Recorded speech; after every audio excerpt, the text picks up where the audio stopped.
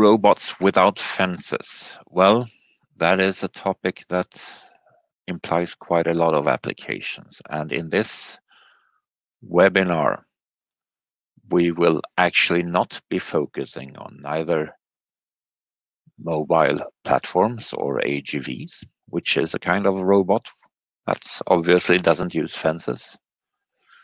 But it's not focusing on the topic of collaborative robots or cobots either.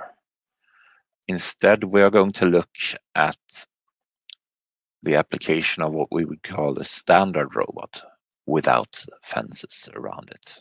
What is possible to do and what can I possibly gain of by doing so?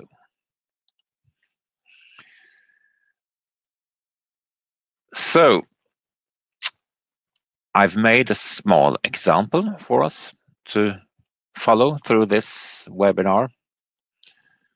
And to be overly clear, the example is a bit exaggerated. So therefore, I've also chosen the largest robot we have, the Titan. Uh, but basically, we have a standard robot bolted to a concrete floor. And this robot will then, in this case, obviously have a certain reach, a maximum reach, together with its two length workpiece. This I have marked on the floor as a, this red circle. And the typical application for handling the safety of this cell is basically that we put a fence slightly outside the maximum reach of the robot and its tool with some monitored access points, in this case, uh, safety doors. This is still what's the absolute most common application we find and I think you all recognize it very well. And the basic principle here is to keep the operator outside of the working area at all times. And if the operator or a service person needs to enter the working area, that will cause a safe stop of the cell. And on the upside, this is a well-known, a very common safety solution, uh, and uh, widely accepted such. The risk assessment which requires to be done is quite straight, straightforward and easy to be done.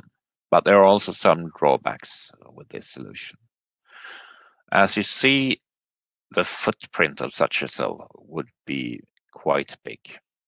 It covers an area which, as long as we keep the cell square, as I've done, is actually significantly larger than even the maximum reach of the robots. Uh, so I get a lot of unused space. And floor space is, with many, many customers, a big issue. Then it's actually comparatively project intensive. Obviously, I need to buy in and install or assemble the safety fence, but not only that, uh, I need actually to do some design to do it. Uh, have to do a, at least a mechanical overview, something like I've done here. Uh, installed, I already mentioned, but uh, since they are safety doors, I have some wiring to do, uh, which I also need to put into electrical drawings. And there is some small amount of programming involved to create the safe stop from the signals of the door. And finally, it's a very inflexible solution because the solution is literally bolted to the floor. It's quite a lot of job to change the layout of this cell if I need to do that. So what can I do to go forward? Could I put the cell fence tighter towards the robot? Well, I could do, but that wouldn't really be allowed because, and this is one of the reasons I've chosen the large Titan robot because this is strong enough so it really didn't wouldn't matter in this case because the robot will either hit or actually in this case probably smash through the fences. So I can still do that, but I would need additional safety features or safety components here. I could limit the axis movements, which in this view is difficult to do in sufficient range, but I can also use our safe operation uh, software option to do this. And some of you may have shown seen the safe operation webinar we did some weeks back, but a one screen reminder of what it is is actually that it monitors the ranges and the axis of the robot and we can also create the tool virtually. And then I can create a space where the robot is allowed to move, which is smaller than the actual reach of the robot. And this is a safety function reaching category 3 or PLD if you like. And I also, as I mentioned, define the size of the tool and workpiece to make that included in the calculation of how the robot may move. I can also control the maximum velocity of the movement within this box and actually vary it depending on outer circumstances and integrated into the safe operation function is also a function which is called braking before range limits, making it possible for the robot to always look forward in its movement and ensure that the braking of the movement starts before it actually hits the virtual workspace limits limitations. So it will slow down and brake before it exits the allowed box, if you like.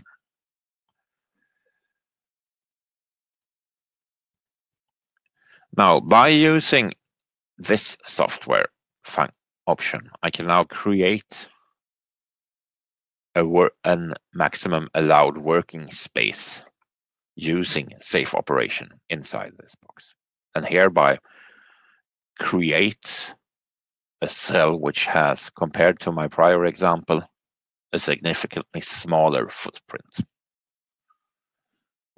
But still, it's the traditional safety solution using an outside fence with monitored access points, which has the same benefits as before because it's, of course, also a much smaller footprint than my old example.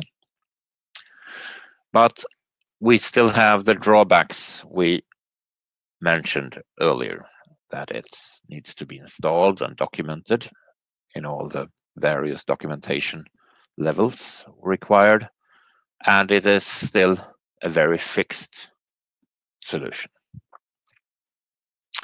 So, is it possible to remove the fence completely? And the simple answer is absolutely not, not without adding additional safety components to this. Although the robot in this case still won't move outside the limitations we've set up for it, the operator is still free to move into this working area without the robot noticing, if you like to speak. So there are several ways of doing this, but one simple way is to use some kind of laser scanners or laser, laser light curtains. But in this case, where I have a pretty extreme application, a robot standing on a naked floor without really any equipment around it, I've chosen to use a laser scanner. And one thing to keep in mind when I choose a laser scanner solution is that I need a scanner that covers an area which is larger than the reach of the robot. That means that marked in yellow in this page, there is an additional safety zone. And how large this is, is basically governed by the standard ISO 10218-2. And we will get back to that a little bit later. Any questions so far?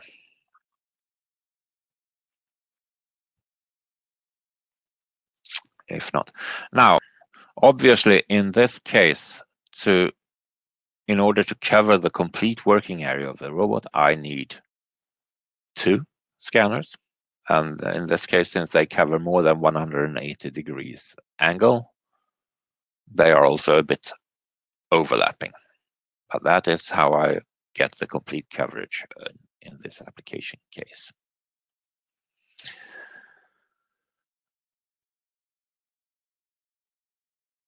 So the first scanner will cover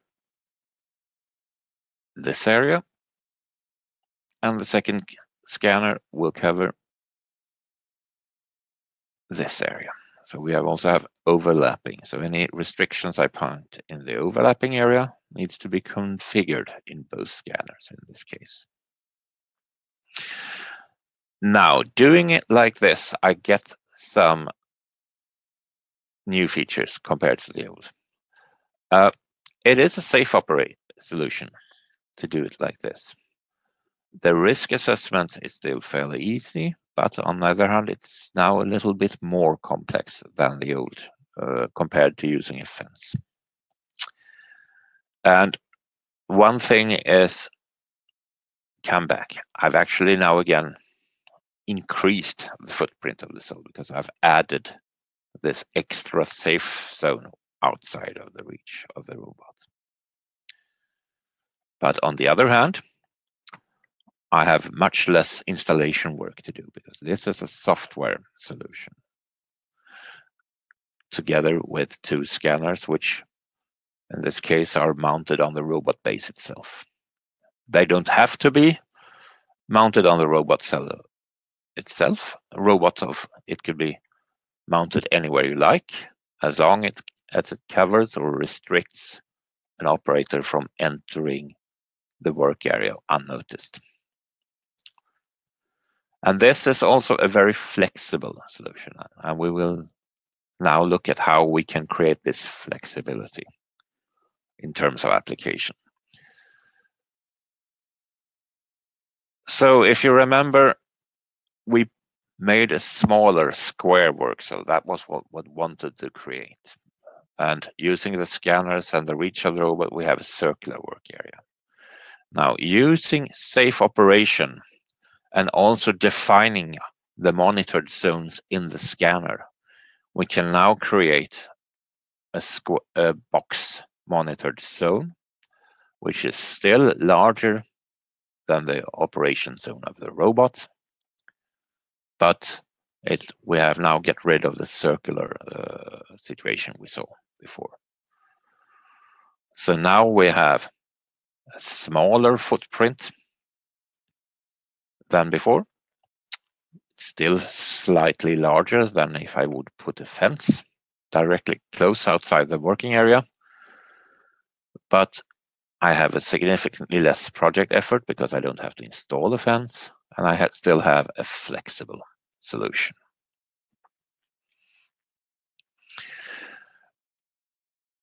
Now, if I take this one step further, safe operation also allows gives us a possibility to create monitored spaces within the work zone, which restricts the robot from going into these monitored spaces.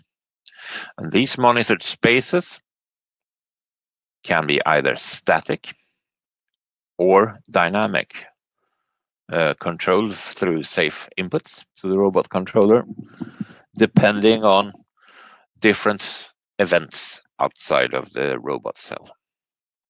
Now, these monitored spaces have to then, if I want to use them, I have to define them both in safe operation but I probably will have to handle them also in the scanner applications or in the scanner zone. I have to define them as zones also in the scanners. So this could look very much like this. In this case, I've created two of these monitored spaces and I've created one green box here as I see where I intend to have a static monitored space, basically saying that the robot is never allowed to move into this because I'm going to in in the argument of saving some space, put a static object here. But I also have a dynamic zone created here, which is the orange box here. And for some reason or another, in my example application, an operator needs to enter this zone safely from time to time.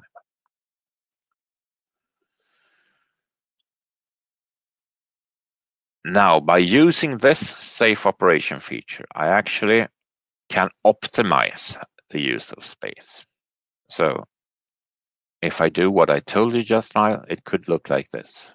In this case, if I remove the zones and just look at the reality, what in fact is, is that I've placed some other machinery inside this safe box because the robot never needs to move here. So it's okay me, and the robot won't smash into this machinery. And I'm also allowing an operator to entering a specific zone of the work area here. And when the operator is in this zone, the robot can continue whatever work it's doing over here, but it may not move into this zone, which is activated by the scanner and a digital input to the robot controller. Hereby I create a cell with a much smaller footprint in reality, a very flexible solution which I can redesign with much less effort than the, a static fence solution. And all changes would then be handled through software, not really through a physical installation or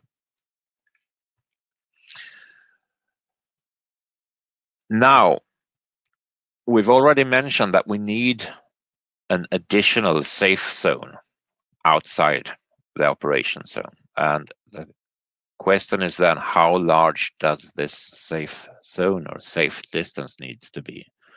And this is generically handled by the ISO 10218-2, which handles the robot system and integration of the safety systems.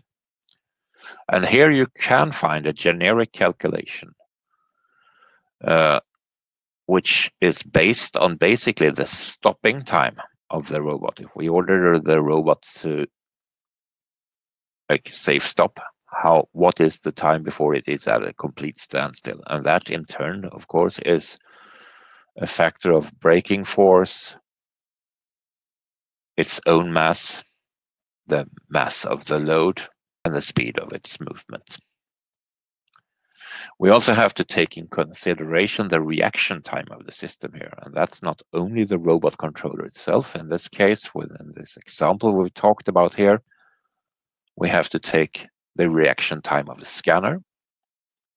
We'll, we do require a safe PLC, which activates and deactivates uh, the safe inputs that I talked about and the robot controller itself. So we need to have consider the maximum complete reaction time for this. We also have to consider the approach speed of the operator uh, when approaching the cell, if he is going to walk into this area or not. And finally, we also have have to have some additional safety margin here because the operator can be reaching over, so to speak, or extending an arm or a leg into the zone. So an additional safety margin in this is required. And that is how this speed, which is this distance, which is what we from the yellow edge of the yellow field to the actual working area of the robot. How long this distance needs to be is defined by this calculation.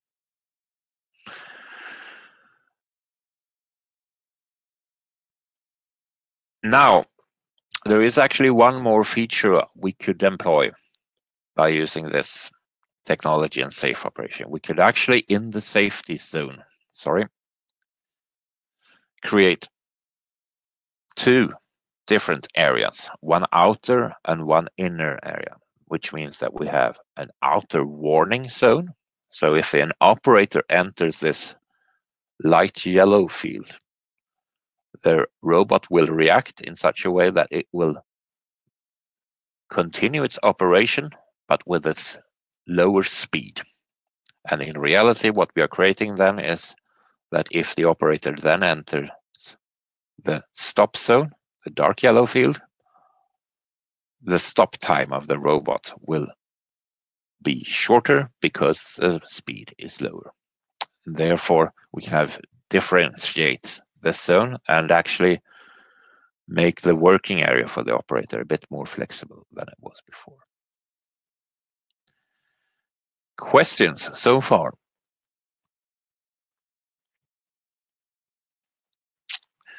And in this example, following my example is what do I need to create such a solution? Well, obviously I need the robot and the robot controller. I don't think it's a big surprise there. I need two laser scanners with and since I had some equipment and I had an operator entering the safe zone, I need a laser scanner which allows me to define zones inside the monitored spaces.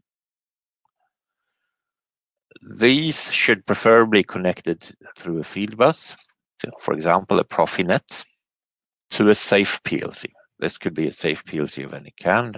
This is obviously a Beckhoff PLC for those, but it could be a Siemens or whatever, which then sets safe outputs and therefore safe inputs to the KUKA controller, which then handles the robot. And the connection between here could be also Profinet or EtherCAT or whatever. Safe bus is required since we are using safe inputs. And basically, if this is the only safety components we're going to install in a KUKA cabinet, there's actually space enough to mount a small safety PLC and take the 24 volts from within the robot controller to supply both PLCs and the safety scanner, if we like. So this is the basic setup we need to create the following fenceless uh, solution, which I've described here.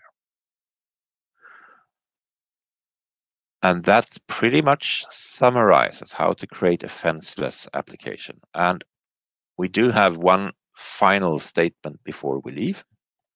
Come on. PowerPoint, please. Go on. And that is regardless if we are setting up a robot cell with a fence or without a fence. And that is that in uh, any event, it's not just a question of buying the required components. There are some additional work required to create these safety features.